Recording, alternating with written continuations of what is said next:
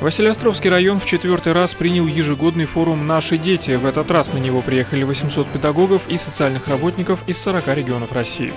Участники форума – медики и педагоги, работающие с детьми-инвалидами, а также сотрудники социальных организаций. Главная тема для обсуждения – реализация программы «Доступная среда», которая подразумевает не только техническое оснащение зданий, но и доступность образования для детей-инвалидов. У нас сегодня есть и сложности, допустим, для детей с, с тяжелой неврологией, которые находятся чаще всего в интернатах.